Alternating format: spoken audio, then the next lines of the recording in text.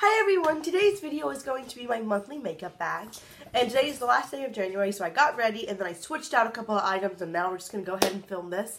I will say, if you watched my January makeup bag, this one's going to be pretty similar because this includes all of my Project Pan items and then a couple of items that I need to use but I don't have in a pan. So like I don't have a mascara in a pan right now but I still need some mascara. So things like that.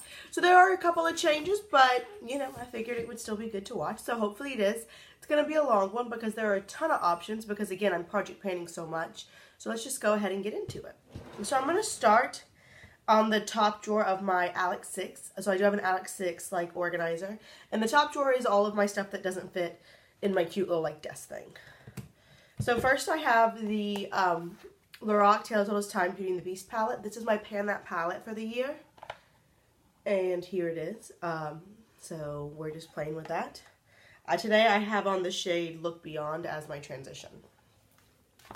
So I like that. Then I have one of my favorite palettes, the uh, Alice in Wonderland Through the Looking Glass palette. And I am trying to hit pan on the shade Hatter in my 17 by uh, 2017 project pan. So I'm just going to go ahead and link my whole project pan playlist down below because then it can uh, you can kind of see my progress and you know if you're interested. So obviously in these videos you're going to get some like sneaky peeks. Then we have my Tarteist Pro palette, which is again another one of my favorites. I've done a review on this. Oh, I did a review of those other two palettes as well. I always forget to say that. I did a review on this and a full face one palette using this palette. It's a gorgeous palette and I'm trying to use up this shade Edgy in my entire makeup collection rolling project pan. And then we have the Urban Decay Smoked palette, which I, I, I've actually mentioned this in my palettes I regret buying video, but it's a really fun palette if you use it like as an accompanying palette. And I do, um, I'm trying to use up the shade Freestyle for my, uh, my entire makeup collection project pan. And I, I don't think I've done a review of that, but I, like I said, it was in that video. Then we have this guy. This is the Urban Decay Vice 4. And I am trying to use up the shade Flame for my 17 by St. Pat's. That is what I have on my lid. And then I'm also, uh, this shade Deadbeat is my first ever weekly product pan item, which I'll link that playlist down below too in case you want to keep up, keep up with it. But this is the first one I drew. So there's that guy. And then we have the Too Faced Chocolate Bonbons palette.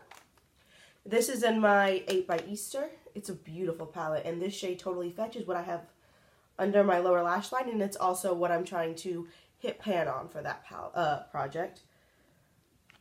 This is a beautiful palette. It's the only chocolate bar I own. And then we have Kat Von D Mi Vida Loca. Such a hyped up palette, so worth the hype. And I am trying to hit pan on this shade Synth, um, which I'm a little worried is not going to happen. But that's a gorgeous palette either way. Then we've got this little guy, which is something that nobody ever talks about. Oops. It's the Urban talks about. It's the Urban Decay Spectrum palette. Urban Spectrum, not full spectrum. And here it is. I use this palette all the time. I'm trying to use up this shade, or hit pan on the shade Voodoo, and my 14 by, well, it's upside down. Oops. And my 14 by Valentine's Day project pan. Uh, but this open shade is amazing. I love all of these shades. This is a great palette. And if you see it, I would grab it, y'all. It's great. And then last but not least, we have my Galaxy Chic palette. And in this one, I'm trying to hit pan on the shade Jupiter. And that is what I have in my crease today. And I'm really close to hitting pan, actually. If you can see, there is a dip. So we'll just see what happens. Then I've got this nail polish, which is for my 17 by St. Pat's. And I brought in this one because I didn't have like a glitter top coat um, in any of my project pans. And I like to have a glitter top to kind of spice things up. And since it is the month of February, I chose this red glitter from LA Colors. It doesn't have a name, but it's really pretty. So we'll be playing with that. I doubt I'll use it up in a month, but you know, we'll be playing with it. And then we have all of my items in this guy. So this is my cute little desk thing. Uh, my mom got it for me last Christmas, Christmas of 2016, I believe. So um, this is where our everything else fit. Everything that fits in here goes in here. All of those palettes were like a little too big or there's just not room. So I'm panning this Sally Hansen Insta Dri Nail Polish. So I was thinking this pink with that red would be really cute. And then the Stila smudge stick, uh, which is in my waterline today. It's not as green as it used to be, but it's old, so I'm hoping I can finish that in my 17 by St. Pat's. And this one's also in that project pan. It's my Model Co lip liner, and I do have it on today. I, I like I I feel like people are very like pro or against lip liners. Personally, I'm very pro lip liner. Then I have my little uh, CoverGirl Smoky Shadow Blast. This is the actual side that I'm project panning, and I have it on today. But because it's in this pan, because this this item is in it, then uh, I have used this a few times as well. And the same thing with like any of my eyeshadow palettes, like like I said, like I'm actually panning the shade Totally Fetch, but I've used a lot of the shades just because it's what I can use. So I feel like that's a good way to, you know, focus in on your certain items, but really get use out of it as well. Like get out use of that whole palette instead of just worrying about one single shade. I've got two more palettes. The Lorac Pro palette. This was also in that um, palettes I regret buying. And I also made a video um, comparing this one to the Lorac Pro 2 to see which one you should get. I'm panning this shade white which is so hard to see. But I do have a dip in for um, 14 by Valentine's Day. And I'm also panning this little perfume, this little body spray. I've made a lot of progress on that. I'm thinking I can finish that before Valentine's Day. And, oops, then we have the Too Faced Clover palette. I've done a review of this. I like it, but it doesn't stay on my eyelids very well. But I'm trying to hit pan the shade Lucky Clover. But this is such a fun assortment of colors. And this is honestly a very unique palette. Okie dokie, we're going to go through all of the little, like, lipstick holders, which is not all lipstick. Rimmel Stay Matte Foundation. I'm not a fan, but you can see I've gotten a lot of use out of it. I'm really hoping to finish that up before St. Pat's. This little Pixi guy, I can't remember if this is in St. Pat's or Valentine's Day. I kind of think I'm right here, but I don't really know. It's like one of those, like, pigments with a stopper. It's just kind of a pain to use and I don't like these. I've actually mentioned these kind of, like this format of a pigment in my makeup items I'll never buy again because I don't like it. I have my cream blush, the Lac & Co Cheek, which is almost gone, which is exciting. Then this lip gloss, which I do have on today. This is the Caily Art Touch Tinted Lip Gloss in the shade Love Affair. And it's a nice lip gloss. It's kind of like a jelly formula. So it's kind of hard, excuse me, to apply to where you don't just look like clumpy and gross. Then I have my Lorac Beauty the Beast lipstick. This is the shade True Beauty. I really like it. It's like a peachy nude. I have a Sephora lip gloss. And like I said, all of these are being panned unless I mention it otherwise. So this is the Sephora lip gloss in the shade um, 04 Perfect Nude. It's a nice lip gloss. Then this is the lipstick I have under that lip gloss. Because if you don't put a lipstick, then it's just a mess. This is the Pixi um, Brilliance Balm Stain in Pretty Pink, and you can see I've got some use out of it. We'll see. I don't have that much left. And that's in St. Pat's, I know. Then we have this Clinique Chubby Stick Hefty Highlighter. I have two cream highlighters I'm panning right now, which was a terrible decision. But this is a giant one. So I have until April 1st to use that up, but I'm not overly confident. I also realized that you really need to put this on your beauty blender and then like dab it on because if you just swipe it, um, at least with the Rimmel Stay Matte, it just like picks up all your foundation, which is not a good look. Next, we have the NARS lip gloss, which is in my uh, 17 by St. Pat. It's a very orangey lip gloss, but it's cute and I like it. It's just, it's, I think it's just the packaging, but like you don't get very much out on the little thing. But I don't want to take the stopper out prematurely because I know once you take the stopper out, it's a mess. Okie dokie. And then I've got three items that I'm not panning, but I needed one, and I wanted to, I wanted to like switch those items out. So like last time I was using my Ulta Brow Gel, and so now I'm using this H&M Brow Gel, which I have done a full review on, and I don't like it, but I gotta use it up. Then for my chapsticky item, I'm using this guy. This is the Ulta Juice Infused Lip Oil in the scent, I thought it told you the scent, Sweet Rose. I actually got a giant, um, like makeup kit, like one of those 96 piece makeup kits from Ulta from John's family for Christmas. So this was in there and I haven't used it yet. And then the Tarte Tarteist uh, mascara. This is the mascara I'm using. It has like weird packaging. But I'm hoping I can maybe finish this up this month, which would be good. And obviously, with anything, if I finish it up, like if I finished up this eye this brow gel and I don't have anything else that could take its place, then I'll just you know um, kind of roll something else in. So then we've got this Ofra banana highlighting powder, which is actually what I used to set my whole face today. This powder works well with the Stay Matte foundation. It like makes it a better shade for me. You can see I'm almost finished. I'm really hoping to finish that up this month, maybe. That would be awesome. That, that's kind of the goal. Another powder. If you um, follow me, then you know that I'm kind of, I'm finishing all the pans that I'm in now, and I, I'll be starting a pan like soon, but I don't want to have like six or seven pans going on at once because it's just so hard to get use out of your items. Like right now, I have that powder, and I also have this Revlon powder, which I haven't been focusing on because I've really been focusing on the Ofra powder. But I do have pan on it, and I have another powder that you'll see in a minute. So it's just too much of the same. This is the setting spray I'm using. It's the Eau Thermale Thermal, Thermal Spring Water. It's not a great setting spray, um, but i have probably got like two or three more uses out of it, and then it'll be done, which was exciting. This is my bronzer. It's also got a blush in it, but I'm panning a blush that's pretty much the same shade, so I won't be using this blush. If it was a different shade, I probably would use it occasionally, but this bronzer is really what I'm panning. This is a Sorme Bio Natural bronzer, and I am using it. Oh man, oh man! It didn't break. Oops. Uh, I am using it today. It doesn't really have a dent in it, which is kind of disappointing, because I was hoping it would, because I've used it for like a month straight. Then we have my green concealer. I like a green concealer, especially right now. My face is going haywire, and I don't really know why. It just is. But this is the Physicians Formula Concealer in green. And then um, I'm not using this one, but I probably will start soon.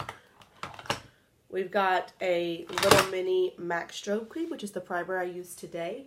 Um, I like this primer under the Stay Matte because it kind of like lightens it up a bit. But you can see I, have gotten a lot of use out of it. And then we have the Touch in Sol No Poreblem Primer as well. Which I haven't been focusing on just because, like I said, when you have two primers, I know you can like, I was doing the Touch in Sol like in my T-zone and then the MAC everywhere else. But I've decided I think I don't want to deal with that. I think I would, sorry, I have this like little hair that doesn't want to go the right spot. Um, I think I'd rather just use one primer. So that's what I'm doing. Um, then I've got this little Sephora single eyeshadow. This is for um, 14 by Valentine's Day. So I've got that much. Oh, and if you wanted to know, um, so like I've said, I use these items during the week, with the exception of my weekly product pan. So this guy, this Deadbeat shade, I'm using every single day. But everything else I just use during the week, and on the weekends, I can use whatever I want. So for that, um, I was saying. Oh, so like this nail polish is not in my project pan. It's the shade Artemis from Sephora Formula X. And it's a holographic polish and it's gorgeous. I wish I had a glitter like that for my eyeballs. I think NYX makes one and I would like that. This is the Coastal Scents gel liner, or liquid liner. I do have it on today. It's the only liner I've used for like a month. So hopefully it'll be gone soon. This is the Model Co. Highlighting Trio in bronze. So I am trying, uh, just the highlighting trio, I'm trying to use up this shade bronze. I thought it'd be a lot easier to hit paint on, and I still haven't done it, but I'm using it as a cream bronzer. I know it looks super, like, metallic, but I feel like on the face, it's fine. Um, and if I do happen to use up this uh, cream blush, which I think I will, I'll probably start using this one. Just because I try to use items, like instead of pulling in a different cream blush, I'd rather use one that I'm already kind of panning, just to limit the actual number of individual items that I have, that makes sense. Then we have the Balm Cosmetics Balm Springs blush that I'm panning. And you can see this is pretty similar to that Sorme blush, um, but it's a pretty little shade. I like it. And then the concealer I'm panning right now is the Benefit Boing Concealer. And I've got so little left it's hard to like get out now, but I'm, and I'm hoping I can maybe finish that in the next 14 days. We'll just see. So then we've got three drawers and that'll be it. So for the first drawer, I've got the third powder that I'm panning right now, and it's the NYX Radiant Finishing Powder. And I chose it because it's green and white. I wanted to hit pan on this. This is 8 grams of powder, which is, no, it's 12 grams of powder, which is a little large. I don't know if I'm going to hit pan. Like, that's what, that's the thing. When you have so many of the same items, it's hard to get use out of any of them. Next, we've got the Kat Von D Esperanza palette. And the goal is to use up the shade Dog Roses. It's in my full collection rolling project pan. And in that that pan, everything the goal is to completely use up every item. You can see I've got a long way to go in that. And similarly, um, we have the Stila Eyes Are the Window Body Palette. This palette's not great. It's got some real, like this diamond shade. No, moonstone shade is amazing, but a lot of it's not great. But this is the shade Emerald, and um, I'm trying to finish that up. And you, if you might have noticed, there's a navy in my uh, pan that palette, so I'm kind of focusing on that instead of the Stila one. Next, we have my second drawer. So in here we have the Lorac California Dreaming palette. I keep forgetting about this palette. If we're being completely honest, I do. I'm trying to hit the pan on the shade, the shade Seaside, which I don't really like. So there's that. And then I have the Polish Choice blush. And I'm trying to use up the shade uh, Soft Mauve.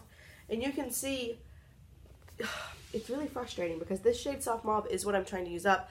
But this the Balm Springs blush is almost the same shade. So I'm focusing more on this Balm Springs blush than this guy. So I should have just been smarter and like brought in a different, either not brought in a blush at all or brought in a different shade.